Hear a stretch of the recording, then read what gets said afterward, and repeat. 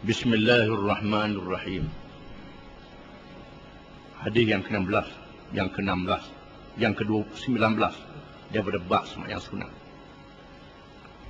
Wa an Jabir radhiyallahu anhu qala سمعت رسول الله صلى الله عليه وسلم يقول إن في الليل لساعة لا يوافقها رجل مسلم يسأل الله تعالى خيرا من أمر الدنيا والآخرة إلا أعطاه إياه وذلك كل ليلة رواه مسلم dan dari Jabir radhiyallahu anhu katanya aku telah mendengar Rasulullah sallallahu alaihi wasallam bersabda Sesungguhnya pada malam itu ada satu masa yang tidak menepatinya oleh seseorang Islam yang bermohon kepada Allah Ta'ala suatu perkara yang baik daripada perkara dunia dan akhirat. Malaikat Allah memberi kepadanya dan perkara itu diberi pada tiap-tiap malam. Hadis riwayat muslim. Selama ini kita mendengar hari Jumaat.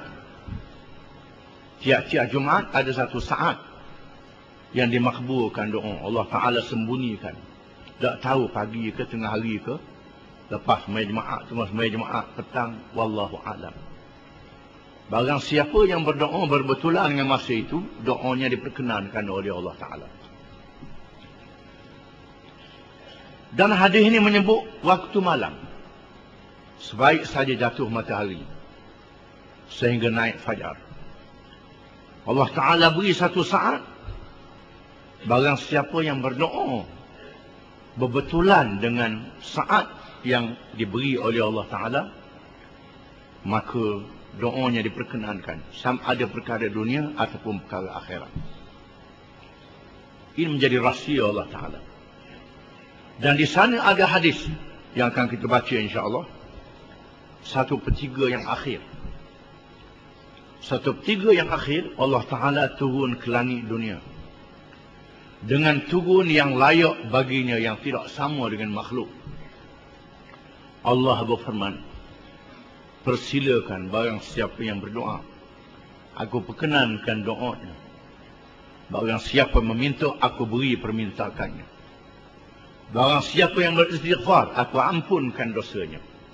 Satu petiga yang akhir daripada waktu malam. Ini satu hadis yang lain. Hadis yang kita baca ini mengatakan satu saat daripada malam. Maknanya bermula daripada jatuh matahari sehingga naik fajar menunjukkan bahawa waktu malam mempunyai kelebihan yang tersendiri kerana apa?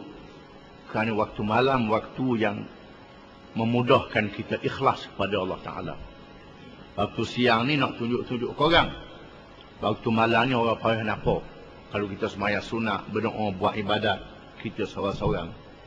Ha? Dan waktu malam pula, ha? biasanya hati kita berhadap pada Allah Ta'ala lebih mudah.